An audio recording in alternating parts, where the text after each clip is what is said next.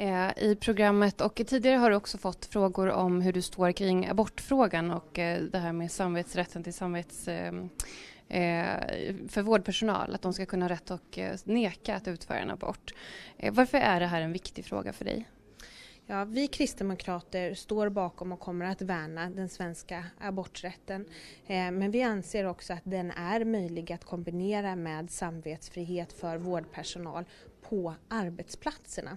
Vi anser inte att det ska gå till lagstiftningsvägen men att man ska kunna göra precis som vi kristdemokrater har tagit initiativ till i flera olika landsting, att kunna lösa detta på arbetsplatsen. Det gäller inte många medarbetare. Det borde vara möjligt att kunna både värna aborträtten och samvetsfrihet.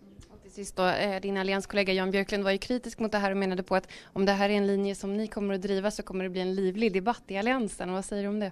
Vi kommer nog ha många livliga debatter i, i alliansen eh, framöver och det tror jag kommer att, att, vara bra. Men Jan Björklund behöver inte vara orolig för det här är inte en ny linje från Kristdemokraterna utan vi fullföljer samma som vi haft tidigare. Jan Björklund, du sa till Sveriges Radio tidigare idag att du tycker inte att det är rimligt att som nya KD-ledaren Ebba Busch Thor vill låta vårdpersonal själva bestämma om man vill utföra en abort eller inte. Varför inte? Aborträtten finns ju i svensk lagstiftning sedan många årtionden tillbaka och det är ju, det är ju den enskilda kvinnan eh, som under vissa förutsättningar i lagstiftningen själv fattar det beslutet och den ordningen tycker jag att vi ska ha kvar. Eh, det var en viktig eh, reform när den genomfördes och den är fortfarande viktig.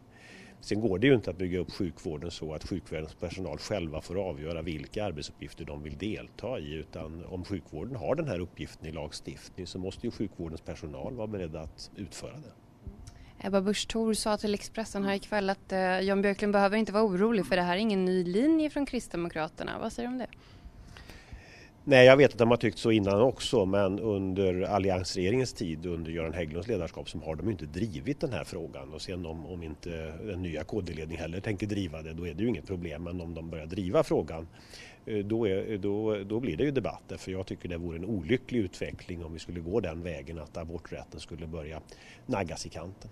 Och till sist, hur stor chans ser du att de skulle kunna få igenom det här i så fall?